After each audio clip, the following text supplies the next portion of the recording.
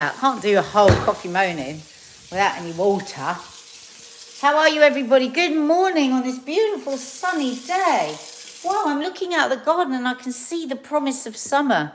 Is it the same where you are? First of all, everybody, just tell me where you are. Where are you in the world? Just one word, where you are. I love seeing where people are across the country and abroad. Obviously, you can't do this if you're watching this as an upload because this is live at the moment. Good morning. How are we? It's a bit dark down this end today. How are we? Liverpool, Sidcup, says Trisha. Oh, my dad went to um, drama college in Sidcup. Martina, Hilltown, Israel. Who's that from Israel? Wow, you're there's uh, it's, it's crazy over in Israel at the moment, isn't it? Natasha Milchin is in Israel. Uh, Devon says Emma Sazzle. Morning. Michelle is in Essex, Leeds, Sevenoaks. Let me have a look down here easier. Um, morning, Faith, and thank you for your love to all the family. Uh, Claire Ross Reed in Dorset. God, have you seen about the oil leak in Poole Harbour? That was the first thing I saw this morning because I knew I was doing coffee morning this morning. Literally, before my eyes were even properly open, I was looking at the news and I was like, no, no, no, no. Um, uh, morning, Ali P. Morning, Jan Number, Hampshire, Oxfordshire, Dorset, Beckenham, uh, South Lanarkshire, um, Cumbria, Cotswolds, Worcestershire, Rutland, Perth, West Australia. Yay, look at those sunshines. Um, gorgeous all over the place. And I think most places it's sunny. Haslemere, Surrey, Rickmansworth. Uh, it is mad in Israel. Not sure how I'll get back home today. I'm in a different city, says Natasha Milchin. Yeah, there are riots, major riots in um, or demonstrations in Israel. Uh, morning from Wales and Somerset. I used to go to Wales quite a lot. Uh, Ramsgate, Sweden, Swindon, Cardiff, Winchmore Hill, West Norwood, truly scrumptious, Southend-on-Sea, Hackney, South Shields, Auckland, New Zealand. Wow, uh, London Bridge. You're at London Bridge? You, you don't live in London Bridge, Julie? Or you work or you work in or what are you doing in London Bridge? Sunny Birmingham. Hello, how are you? I was just saying over on Instagram, I had a bit of a wild weekend. We went out, all the loose women went out, uh, and the production team to celebrate our lovely Tom Sage, who's I, I, named head of women. That's not an official title. He was deputy editor of Loose Women, and uh, he's going off to Neighbours. He's going to Australia because not only was he like, the, you know, he's a really good friend, but like I said to him, now we look forward to the rest of our friendship for the rest of our life without having to be a little bit cautious because we both work together. Um, so that's going to be really nice. But yeah, had a great time. It was just, yeah, just kicked off my shoes. Thought, yeah, we're having a few drinks. Me and Kay stayed in a hotel for the night so we could stay up drinking tea when we got back and dissect the day. It was just, it was just lovely. It was really, it felt like the old days. Um, I'm just saying, don't know if you saw Loose Women on Friday, but oh my God, Judy was bloody hilarious. She had me dance, she had me up doing a sexy dance. it was just so funny. And if you weren't watching it, you, if you'd seen behind the cameras, all the security guards and everybody was dancing, it was just fantastic. Fridays is definitely my favourite day on Loose Women because um, we're allowed to be just a little bit looser, a little bit sillier. Uh, yeah, the Neighbours is coming back, and our lovely Tom Sage was headed up the campaign over in the UK to bring it back. Now we've bloody lost him to the bloody show. Very annoying. No, I'm glad for him though. It's a good, um, it's a great thing to happen, isn't it? Go live in Australia for a year. Uh, Julie had a wonderful 65th birthday weekend with family and friends. Julie Hilton, happy blooming birthday. I'm going to be 60 next year. I just can't believe it. 60. Lucky me. Oh God, whenever I do these, you know, I'm always doing, I do these sort of batches of interviews every so often. I do like three or four, five interviews in one sort of block. And, th and there's always something that everybody will ask me. So whether it's about body confidence, whether it's about marriage, whatever. But the new one at the moment is, how do you feel about being 60 next year? Well, the first interview, I went, oh, God, am I? I didn't even know I was going to be 60. Um, this was a couple of months ago. Um, and my answer is always the same. What a bloody privilege to get to 60 because I have friends now at this point that are fighting for their lives, literally, with bloody, bloody breast cancer. God, cancer sucks. And, and I just think it's a privilege. So anyone that's worrying about, oh, I'm going to be 60 or oh, I'm going to be 40 or I'm going to be 30, just remember it's a privilege. It's an amazing thing. And that will get you through any fears about wrinkles and schminkles and all of that stuff. And achy knees. just think, wow, God, think of all the people that didn't make it. Um, okay, so We've got a few things, quite a few things to talk about today. Whether we'll get through them all, I don't know. What do you want me to start with? There we go. On the, on the list today, what would you like me to start with? Happy birthday, Catherine Rumsey. Let's do a quick happy birthday. Happy birthday to you. Happy birthday to you. Happy birthday, to Catherine. Happy birthday to you. If it's anyone else's birthday, I'll sing at the end. Just let me know. Um, uh, so, guys, what do you want me to start with? Come on, somebody choose. Somebody be producer today. Ah, the dementia story, says Wonder Woman. Well, yes, I mean, I have to say, this really did catch my eye. And it, it was interesting why it so caught my eye was because just before it on the radio, this is this is the headline I saw. Porsche billionaire moves in with girlfriend after divorcing dementia sufferer wife. Now, very mirror headline. Now, why this caught my eye was just, just before that, this ad that I was listening to on the radio, I think it was for Dementia UK or Alzheimer's UK, and it was very, very sort of bleak, you know, would you still look after, you know, would you still love Barry, even though Barry is not you know, is nothing like the man that you met. Would you still do it? It was very, very bleak, you know, in your darkest hours of your life. And I was just, I, I just stopped in my tracks as I was getting dressed and I was thinking, you know, because I always say one of my favourite vows in marriage is in sickness and in health, because that is the nub of all of it, isn't it? How we care for each other in the in the really dark and difficult times of our marriage. And I certainly feel that when you know, when I've supported Mark through his really dark stuff and when he rushes to me and my really dark stuff.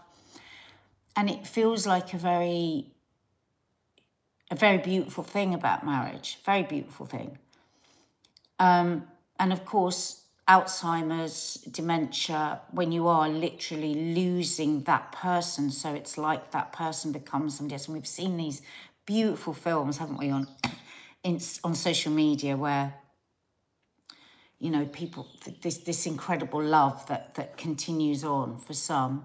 But of course, it's an incredibly brutal condition, not only for the person that is suffering it, but for the people around them. Incredibly hard. It's not all, you know, there can be all sorts of things. You know, a friend of ours, um, mum who had Alzheimer's, became incredibly aggressive, incredibly frightening violent, all these sorts of things. And then when you add to it the pressures, the financial pressures that somebody might have to look after that person, you know, they need 24 hour care. you know, you've got to, you, you've still got to work, you might have other dependents. It's not just as simple as just, just love will endure. And it's, I, I have never judged anyone that's, ha- or would I ever, that would have to have carers or have that person put into a home where they could be cared for better. I have no judgment on that whatsoever. And now, you know, Mark gets annoyed with me because I always say, oh, if I have any, anything like that, you know, just, just, I don't want you looking after me. And he goes, it's so horrible because I love you and you're just saying that and you're determining my future. And so we always have big discussions around this. And I think it's good to have these discussions. Anyway, so so I'd been listening to this advert and then I'd been having this dialogue with myself. And then I saw this headline and I was just like, wow. wow. So apparently they've been together since 2007, got married at 2019. This is, uh, what's he, this is the guy, Wolfgang Porsche, billionaire. And apparently he has, you know, moved in with somebody else, which again, that's fine. But did he really need to divorce her? I just feel that's so brutal, isn't it? I mean, especially when you're so well off. You know, could you not just? I mean, I don't know. Maybe he is caring for her financially. I, I, we don't know. This is, you know, this is a, this is a newspaper article. We're not hearing the man talk for himself. So, parking his story because I don't want to judge somebody when I don't really know their story. I it just really it really focused me on it on the question. I thought I could not in a million years imagine divorcing somebody. So what you you you you're overwhelmed. It's all too much. You can't you can't cope anymore. You're not looking after this person that you love in the way that they need to be and you you move them into a home absolutely. But then to divorce them i don't know there's something about it that just feels i don't know just brutal. But am i being silly? What do you think? What do you think?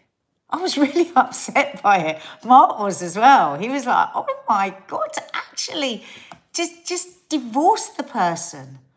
Because think of all the other people around that person that loves them as well like your your mutual friends, their family. I don't know if she's got children or whatever. The children, how does that feel to just cut that person off, to just divorce them? Uh, right, Angela Thompson. This is interesting. I love my husband, but I'd rather he divorce me than have to live you live his retirement financially supporting me in illness. Both my parents had dementia, so I don't want him not living his life. And Angela, this is exactly what I say to Mark. I say, you know, just just do whatever you need to do and don't think about me again and da da da. And, and as I said, uh, you know, as I just said, Mark gets really upset by that. He goes, I don't want you to say that. I don't want you to determine how I love you or how I look after you or whatever. But I feel that, I feel that burden ahead of time. So I get you, Angela. But it's just the divorce bit. And you know, there is something weird about us, Angela. I'm saying us because that's two of us now that says that because I here's me saying I love most. I love the vow in sickness and in health, but I'm not wanting Mark to love that vow. It's a bit screwed up, isn't it? Um, Zoe, I don't know how you could move on with someone else knowing your wife or husband was suffering in that way, depressing. Um, uh, I welcome to the man family. I think Nadia, sometimes people just aren't the same as they were when they were married. People change, but it could, but would be good to see the true reason if he's moved on. Why stay married? I don't know. Yeah. Well, again, it is like we say, we don't know the full picture. We don't know what sort of situation, what sort of relationship they had before and all of that. But I just taking it more to myself. I was thinking, I couldn't do that. I know I couldn't do that. I couldn't if I couldn't look after Mark properly and I, I, I, I, had to put him in a home, I, I would do that. But there's no way I could divorce him. No way. I just, I just couldn't live with myself. Amanda Roach, most dementia patients don't know they're suffering. It's the worst. Yeah, it's just so brutal. Yeah. My late Joe Osler, my late dad was a saint for how he cared for his wife, my mum at home when she had dementia. Yeah.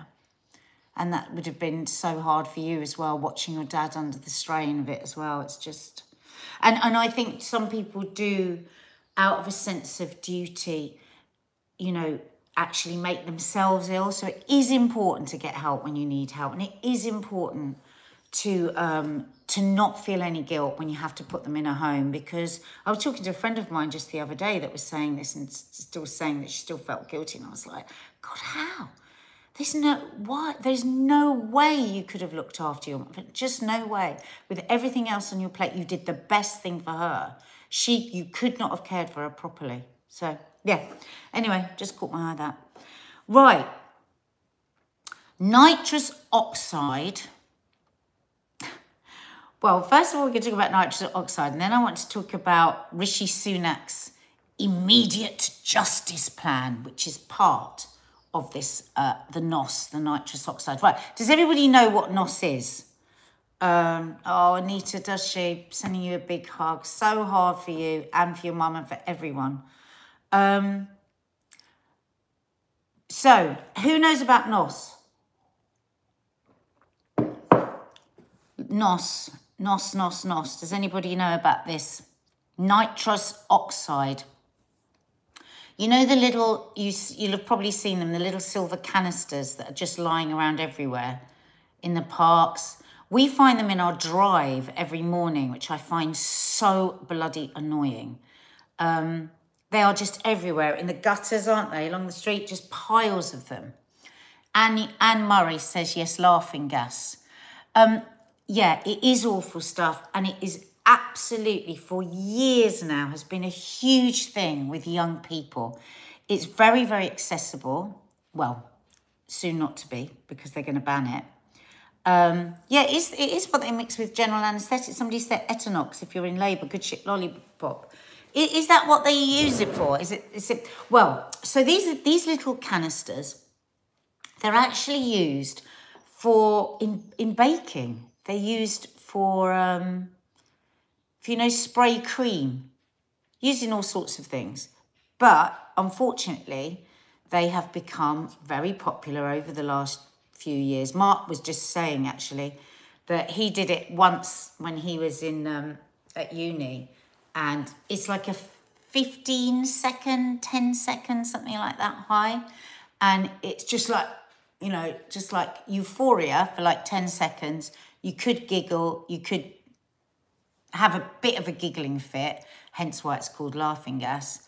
Um, and apart from all of that, it is extremely dangerous. and the problem is, when somebody does one, they want another one because the high is so quick and burns out so fast. And, um, you know, talking to various young people over the weekend about it, and they were saying the thing is, yeah, all young people know about the risk, but it's classic. They just don't think it's going to happen to them. Um, a friend of um, of Mark's, a friend of Mark's daughter, uh, ended up getting a massive um, deficiency in B12, anemia, because it can cause anemia. But also, one shot, if you get the wrong brain in the wrong moment, can cause spinal injuries. Can you believe that? And yet, this has been going on for so long, these piles of these things everywhere. Now, corner shops are selling them. They don't even ask. Loads of them at raves, yeah, pan PMS. Um, so it causes anemia, nerve damage, massive B12 deficiency. So it's good. It's it's a good thing to have a conversation with your kids about. We have over the years had conversations with them about it. Uh, so they're marketed in boxes labeled called labeled cream chargers because uh, that's one of the complete innocent uses for it. So you know it's the it's like the propellant to whipped cream. Uh, also, you can use it, it can be used to get more oxygen into car engine, helping it go faster. When combined with oxygen, also used in anaesthetic and medical and dental settings, or maybe that's what people are talking about when you're in labour. Um, so they this this this so Sky went undercover. You could just buy them in corner shops really easily. Anyone in a corner shop selling that, why are you selling it? Why are you selling it? Um, none of the shops asked how old or who, what they were buying them for. Uh, every shop added in a packet of par party balloons because that's how you take it. I think you put it into the balloon and then suck it out the balloon. Can you believe that? Um, so it's being banned. Um, and it's like Maddie just said, well, how's that going to work for all the people that use it for their bakeries? I don't know. I wonder if there's going to be some sort of license for it so that if you do need it for your business, I don't know, maybe. But this is all the plot, all part of Rishi Sunak's immediate justice scheme to combat antisocial behaviour. So you can tell they're starting to rev up for election time, aren't they? You know, here we go. This is classic Tory whipping up. He wrote this for the Mail. He wrote this as a piece for the Daily Mail. Um, so you got to laugh. You got to laugh at this one. I just want to. I just want to drill into this one. So one of the one of the uh, recommendations for this new immediate justice um, idea is that offenders, graffiti offenders, will get in, the public will get immediate justice because within 48 hours they will be put into either a high vis jacket, wait for it, or a jumpsuit and ordered to clean off the graffiti.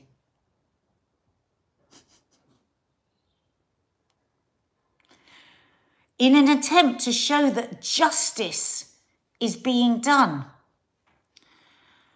So, cleaning up graffiti, litter picking, or washing police cars have all been given as possible punishments. Right, now, first of all, I'm a great believer in more community service. I think putting young people too quickly into prison, and I've spoken to a lot of young people that have gone into prison, they said it's amazing how quickly you can get used to it and how much you can learn. Um, prisons are full. Prisons are dangerous places. Prisons, you can learn all sorts of things. There's a huge problem with drugs in prisons. And what, what, does it really, how does it really serve us? So I think more community service. I don't think we need to put people in high-vis jumpsuits and all of that. I really don't because I think it's already humiliating enough and it's hard. You know, community service, when you get like a hundred hours of like cleaning up parks and doing all that, that is like, is not pleasant. It really isn't pleasant. And I think if you were to match that alongside some really proper good youth work, I think that would be good, where you're actually trying to set people back on a better road for our future. What is justice for a society? A justice, justice means a better society.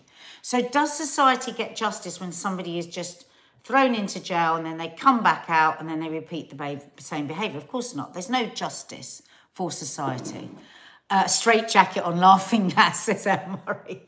So I'm a believer in more community service where possible to do things that, that really, um, you know, serve society, like you say, you know, working in pot when they see them cleaning up all the parks and, and planting flower, doing all of that. But I just wanted to drill into this a bit. So, where are all the bobbies on the beat that are going to catch these people mixed graffiti? so, if you've got those spare police, could they at all, possibly, Rishi, could they put at all, could it be possible for them to go out and just protect us a bit more? Like, so that there wouldn't be quite so much sexual assault. So we wouldn't have to fear rape in quite the way that we do every time we go. So that we didn't, so maybe if there's more bobbies on the beat, there could be more people out and about. So there aren't so many people stabbed. Because Think of the amount of people that it's going to take to make sure these people are caught mid graffiti. I mean, this is just headline stuff, isn't it? Have you ever witnessed anyone doing graffiti? we haven't, have we? It's always just like, oh, wow. Actually, an awful lot of graffiti I actually love and I think it's incredibly creative and I think it's young people without much else to do doing something artistic. Okay, obviously it's different when it's a but um so the Prime Minister's intervention confirms that antisocial behaviour is emerging as a central battleground for the next election all of what we are suffering with crime in this country at the moment, the ludicrous situation that we've got that most of us know that is probably not even worth um, ringing the police if our car's stolen, if our house is burgled, because nothing's going to be done. That we want to hear about. How are you going to make the streets safer for us? And, and I just thought, oh God, is this what we're just going to hear, like trotted out all the way through the election, the run up to the election? Oh, Labour apparently is going to tackle drug dealing, boost the numbers of neighbourhood police. We, well, believe it when we see it. We've got a huge problem with that, haven't we? Recruiting. when we recruit too fast, we get some very dodgy people in uniform. um, uh, yeah. So the system is going to be tested in 10 areas before it is rolled out across England and Wales. While there is little detail on exactly how victims and communities will be involved in setting punishments, there we go. Little detail, very little detail. Why do we think that is? Because it will appeal, this headline, to be, oh, guess jolly good. Sort out these people with the graffiti Yes, that's what we know. Let's get Cots the Cotswolds cleaned up again. You know.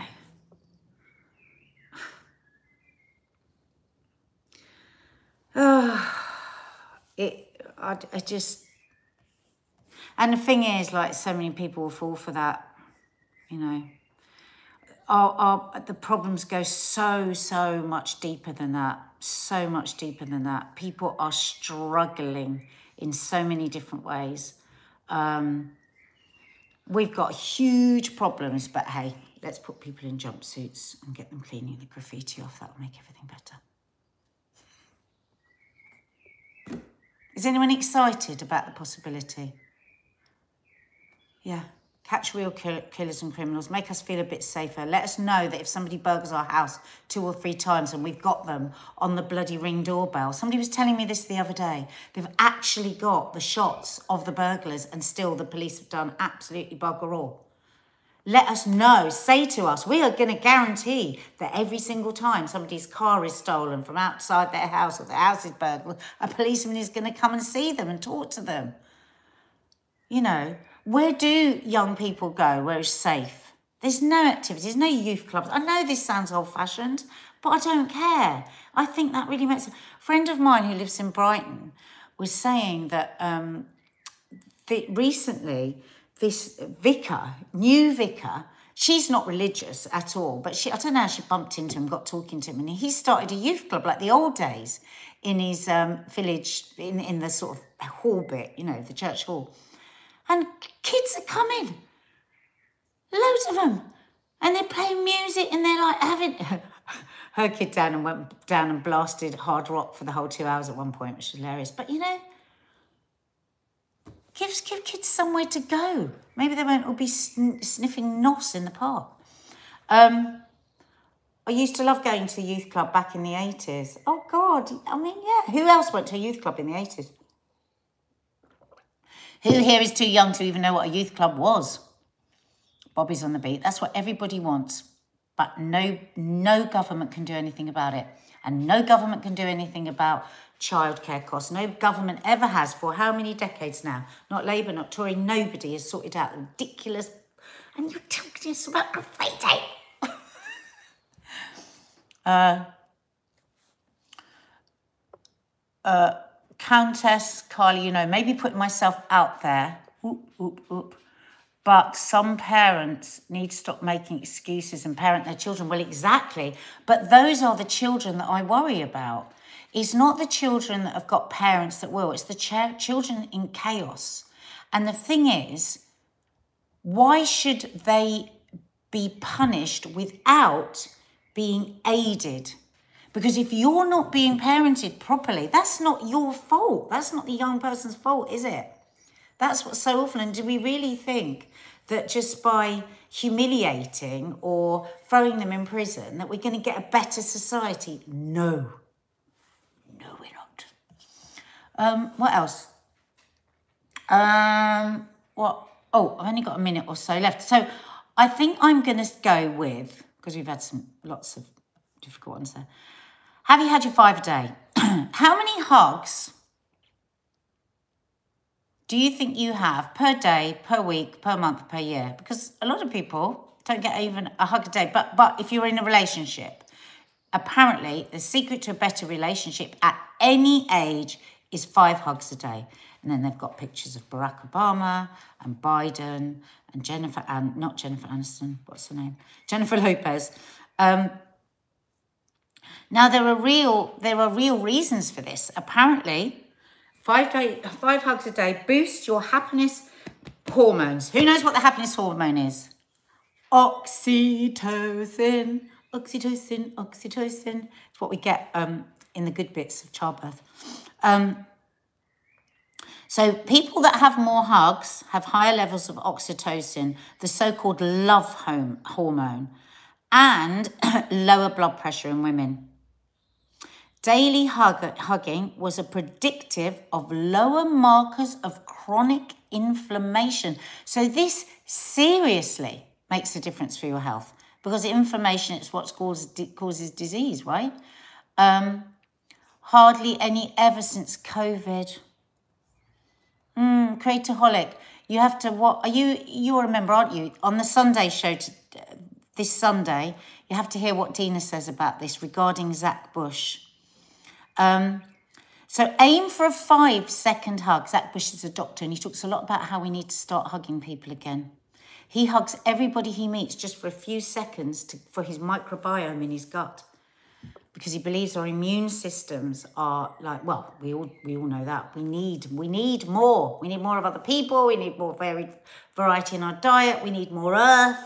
We need so much to strengthen our immune system. And one of those things today is hugging um, so there's no such thing as the perfect hug.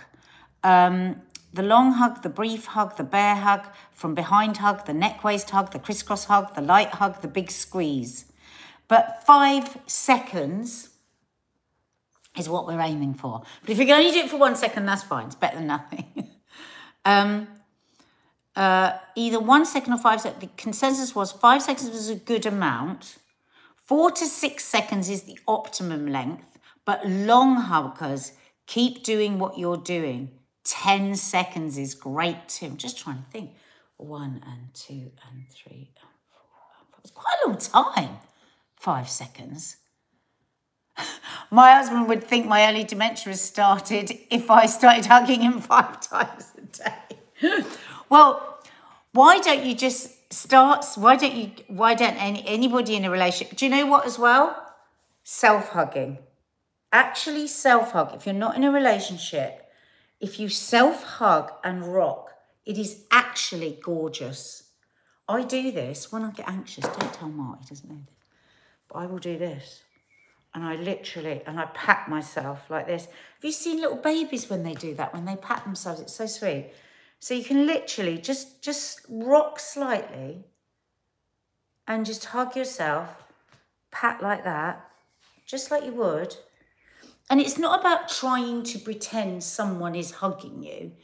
I find it's just me self-soothing. You self right like right now, I've got a really nice feeling. Go on, just try it now. Just put your arms around yourself. Try the pat if you don't like the pat. And just like gently rock. Close your eyes.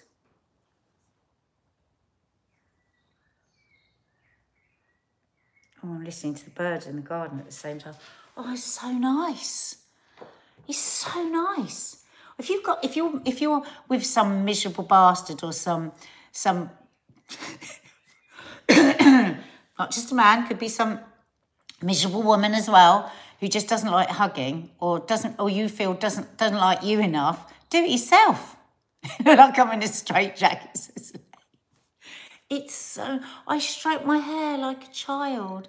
Oh my God, Joanne, that's so lovely. I hadn't thought of that. It's so nice. I think if I stroke my hair, that might make me cry. I might get a bit too upset. Is any, did anybody just try that? Put your hand up. Oh no, Danielle needs that today. Her car's going in for an MOT.